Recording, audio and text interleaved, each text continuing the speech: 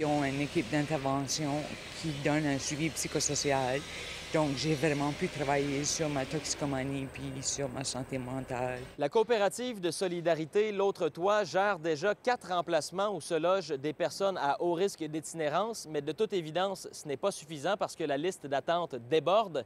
Il y a peut-être une partie de la solution qui se trouve ici, sur ce terrain de la rue Wellington Sud. C'est un projet qui s'adresse à des gens qui ont dans le passé eu une situation d'itinérance et qui sont référés à nous sur notre liste d'attente par un partenaire en itinérance. Et euh, les gens, une fois qu'ils se sont stabilisés après une période d'itinérance, euh, viennent accéder chez nous à des logements permanents, subventionnés. C'est un travailleur de rue qui m'a mis sur la liste d'attente de l'autre toit. Puis le timing était parfait, ça a coïncidé. Puis là, j'ai tout de suite tombé avec l'autre toit. Ça fait que mon cheminement vers le rétablissement a commencé là. là. C'est donc 16 personnes qui pourraient bénéficier de ces logements-là, c'est ça? Exactement, et c'est, euh, ça répond vraiment à un besoin parce que vous voyez notre liste d'attente.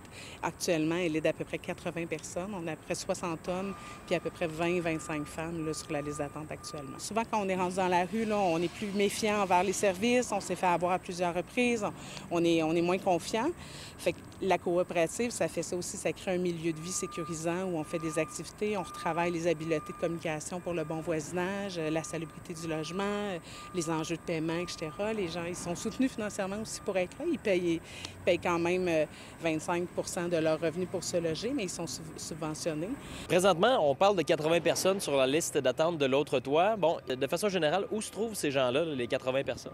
C'est quand même assez diversifié. C'est sûr, il y a des, des personnes qui sont présentement sans logement, euh, qui sont peut-être euh, suivies dans différents services sur le territoire. Il y en a d'autres qui sont dans d'autres logements, mais qui, au niveau de leur, situation, c'est pas, euh, pas faisable avec le budget ou l'état même du logement est définitivement problématique dans bien des cas.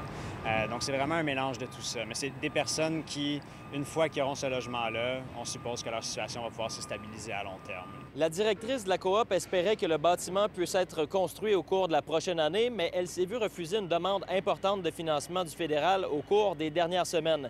Les démarches se poursuivent donc pour attacher le financement nécessaire au projet. Ce qui nous a été expliqué, c'est qu'on a priorisé des projets qui dataient de plus longtemps. Fait que c'est sûr que je peux pas vous annoncer que le, le sept étages va être construit euh, dans un an si les premiers locataires rentreront pas. En tout cas, à moins qu'on ait une bonne, une bonne nouvelle. Il y a réellement un problème euh, et un besoin à Sherbrooke. Moi, je te dirais qu'une personne dans la rue coûte plus cher que loger une personne